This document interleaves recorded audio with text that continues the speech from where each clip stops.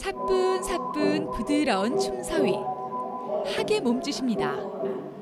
올망졸망 아기 학들 뒤로 우아한 몸짓의 주인공이 눈에 들어오는데요. 춤으로 살아온 60년 인생, 춤과 결혼했다 말하는 박태승 무용가를 만나봅니다.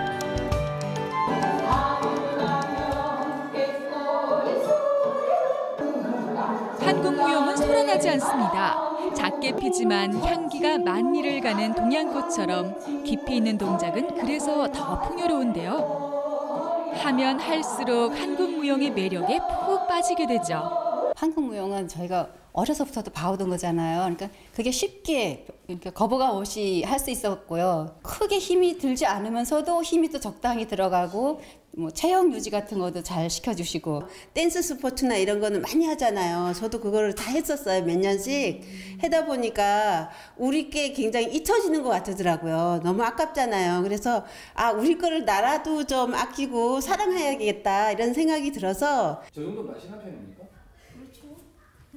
강민정 리포터도 동작 한 수 배워보기로 했는데요. 학춤의 기본 자세 비슷한가요? 기본 자세가 일단 모금을 줘서 구부리고 너, 나, 부리가 딱 쳐요. 쿵 먹고 넘기고 좌우세로 하고 쳐주고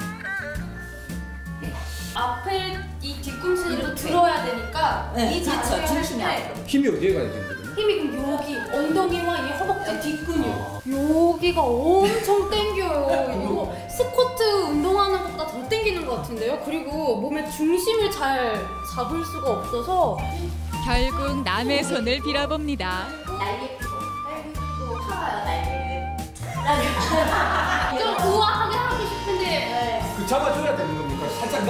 자전거 탈 때. 하기 네. 발 동작을 하고 나서 피죠 야. 평생 춤만 춘 주인공과 무게중심 따윈 애초에 포기한 리포터. 한국 무용의 대가시잖아요. 언제부터 이런 한국 무용 춤을 시작을 하셨는지 참 궁금해요. 저는 만 5세 때부터 처음에 부모님이 의도로 시작을 했고 초등학교 들어가면서부터는 누가 뭐래도 난 무용을 해야 되겠다 제 의지로 올해가 55년 54년인가 55년 되는 것 같아요 동해가 고향이 아니신 걸로 제가 알고 있어요. 동해시 국악협회 지부장님의 권유로 저는 올 때 한 3년 계획으로 왔거든요. 무용 세계를 꿈꾸고 있는 청소년들 때문에 어쨌든 제품에 들어온 제 제자들이고 그리고 무용을 선호하고 꿈꾸는 애들한테 철새처럼 날아간다는 거 애들한테 큰 상처를 주는 것 같아서 1년만 더 있으면 되겠지? 1년만 더 있으면 되겠지? 했는데 벌써 15년이나 됐네요. 소위 서울에서 잘 나가던 무용수가 강원도 산골까지 오기까지 고민이 왜 없었겠어요. 하지만 저 손녀 같은 아이들이 춤이 좋다는데 품어줄 수밖에 없었습니다. 무릎 많이 구부리세요. 안 묻고. 이거 뛰면 안 돼요, 절대로. 쭉 늘려. 그래. 그래서 뒤로 손목을 보내서 예쁘다. 얼마 전 무대에 올렸던 천년 학예 사랑. 2018년 평창 동계 올림픽에서 우리 또 만나요.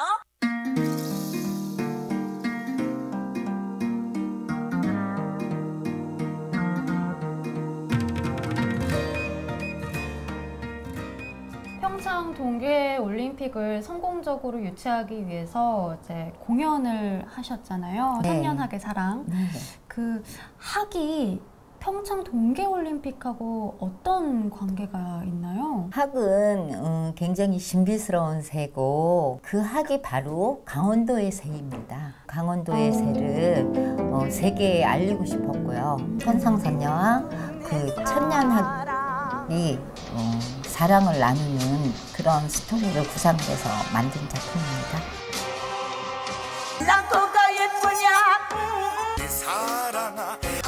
직접 시나리오를 쓰고 안무를 짜고 제자들과 함께 무대에도 올랐습니다.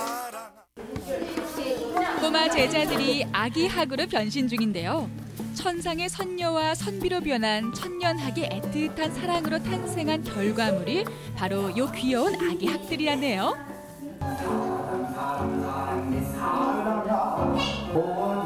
춤에 있어서 깐깐하기 그지없는 박태숙 무용가. 하지만 어린 제자들의 모습엔 미소가 절로 번집니다.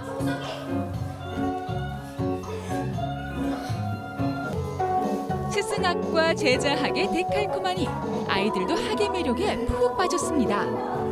얘들아 발레가 좋아요? 학춤이 좋아요? 학습이요. 그러면 학춤 중에 가장 자신 있는 동작 하나만 우리 보여줘 볼까? 아이들이 표현한 동작은 학이 물을 마시는 장면.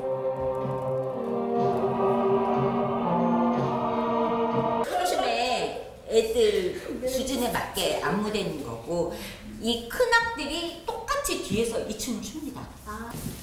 그렇다면 몸치 큰학 재소환. 안에 얼굴까지 다 가리자 제법 학의 포스가 느껴지는데요.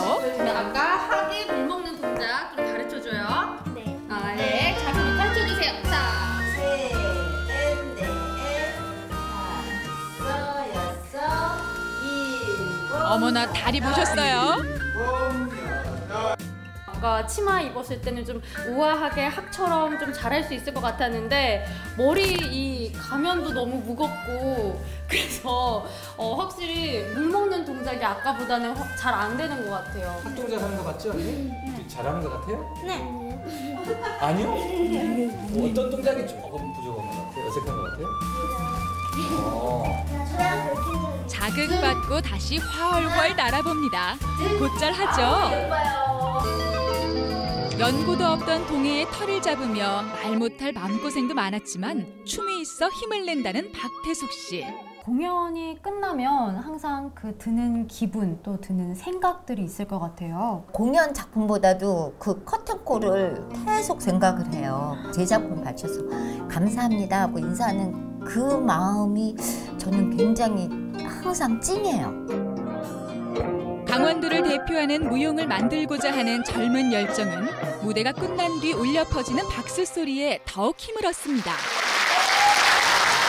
마지막 이제 한국 무용을 하시면서 바람이 있다면 무용과 국악계가 우리의 것 아닙니까? 우리의 것이라는 자부심과 뿌리를 어, 잊지 말고 저는 아마 다시 태어나도 어, 춤을 출 것이고 무용가가 될 거라고 저는 네, 확신하고 있습니다. 춤 하나만 바라보며 달려온 인생. 지금껏 그랬듯 앞으로도 후회는 없을 것 같은데요. 앞으로도 현역으로 무대 위를 지키고 있을 박태숙 씨의 모습이 상상이 됩니다. 시들지 않는 춤의 열정이 천년학처럼 높게 날아오르길 응원합니다.